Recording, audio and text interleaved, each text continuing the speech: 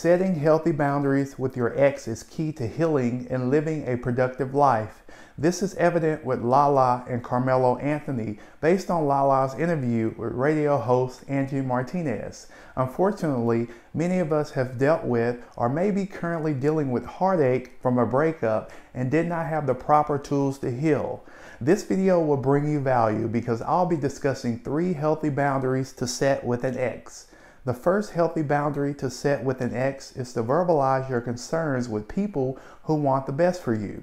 When you have friends, family members, and even a counselor or therapist to talk to, you can gain clarity and confidence. This will also prevent you from allowing your emotions to become cloudy by only speaking with your ex about your fears, anxieties, etc. Not being crystal clear about expectations and immediate goals is a recipe for disaster depending on how bad the breakup was. The interview that Lala had with Angie Martinez was extremely valuable because she talked about confiding in friends and family in regards to her divorce with Carmelo. She also spoke about her therapy sessions and how it allowed her to grieve properly and establish an amicable relationship with Melo. Verbalizing your concerns is that much more important when kids are involved. You never want the dynamics to become confusing when you have kids with the other person. The second healthy boundary to set is firmness. You must be able to have a solid and unyielding stance at all times with your ex. Once you have verbalized your concerns and grievances with people who have your best interest in mind, you must then be firm on the non negotiables, be it that the two of you have agreed to keep the lines of communication open. During my toxic years, I always wanted to play on a woman's weaknesses, especially when it came to my exes.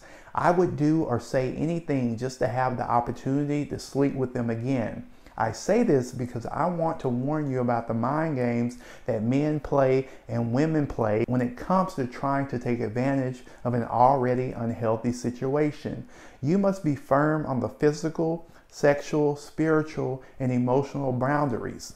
If the lines of communication are still open and you prefer for the relationship to remain platonic, it's critical that all needs and desires are agreed upon by both parties. Obviously, no one knows the details of Lala's and Carmelo's relationship other than what was stated during the interview, but I'm sure that there has to be a level of firmness from the two of them. The third healthy boundary to set with an ex is to give each other closure. Giving each other closure can go a long way, especially if the relationship was extremely toxic. This requires a great deal of understanding and maturity between the both of you. Despite what Carmelo was accused of doing and the evidence that I'm sure Lala had, it seemed as if she handled the divorce with a lot of class and maturity. Again, we don't know exactly what went on behind closed doors, but it seems as if she's handling the breakup and boundaries with class and dignity.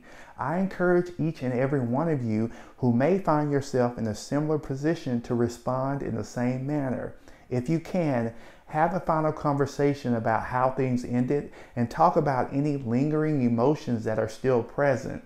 This is essential because properly grieving and obtaining a sense of closure will set you up for success in a future relationship odds are if you spent a significant amount of time with the other person and invested years in the relationship, there will still be a level of love between you two. With this being said, if you would like there to be an open line of communication with your ex, please make sure that both of you are on the same page because if not, chaos and confusion will quickly set in and you'll find yourself in the same place prior to the breakup.